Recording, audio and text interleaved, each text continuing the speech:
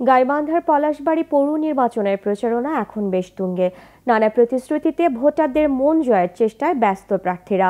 দশ ডিসেম্বর এ পৌরসভার প্রথম নির্বাচন ঘিরে ভোটাররা করছেন নানা হিসাব নিকাশ। রয়েছে পরিবেশ নিয়েও শঙ্কা। গাইবান্ধা প্রতিনিধি ফিরোজ কবির মিলনের পাঠানো রিপোর্ট। সীমানা সংক্রান্ত আইনি জটিলতা কাটিয়ে সদর, বরিশাল ও কিশোরগাড়ি ইউনিয়নের চব্বিশটি গ্রাম নিয়ে গাইবান্ধার পলাশবাড়ি পৌরসভা। নতুন এ পৌরসভায় ভোটার একত্রিশ হাজার ছয়শো দুই জন। এ পৌরসভায় মেয়র পদে ছয়জন সহ প্রতিদ্বন্দ্বিতা করছেন একশো ছয়জন প্রার্থী।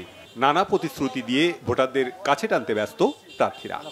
জননেত্রী শেখ হাসিনার যে উন্নয়নের ধারা সেই উন্নয়নের ধারাকে আমি সামনে রেখে মানুষের মাঝে বুঝাতে সক্ষম হব হয়েছে এবং হব ইনশাল্লাহ আধুনিক মডেল পৌরসভা পলাশবাড়ি দেবো।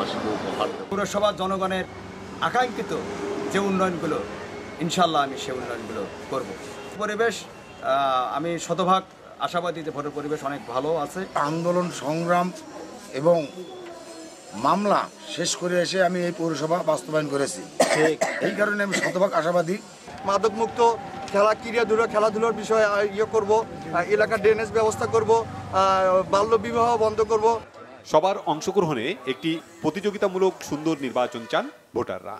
পৌরসভা সম্বন্ধে কাজ করতে পারে এবং উন্নয়নমূলক কাজ করতে পারে আমরা এই সমস্ত প্রার্থীকেই চাই। খুব ভালো লাগতেছে আঠারো বছর পর আমরা ভোট পেলাম এই পলাশবাড়িতে আঠারো বছর পর্যন্ত আমরা কোনো ভোট পাইনি। এবার প্রথম পৌরসভার ভোট পেলাম।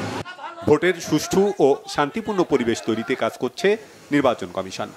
পৌরসভার ষোলোটি ভোট কেন্দ্র এবং চুরানব্বইটি ভোট কক্ষ হিসেবে বিবেচনা বিবেচনা করা হয়েছে এবং সরকারি গেজেট প্রকাশ হয়েছে। এই নির্বাচনকে আমরা অবাধ, সুষ্ঠু এবং শান্তিপূর্ণভাবে নির্বাচন অনুসরণ সব সার্বিক পরিস্থিতি আমাদের অনুকূলে আছে। কে হচ্ছেন পলাশবাড়ি পৌরসভার প্রথম মেয়র, তা দেখতে অপেক্ষা করতে হবে দশ ডিসেম্বর পর্যন্ত। Bangla vision news desk.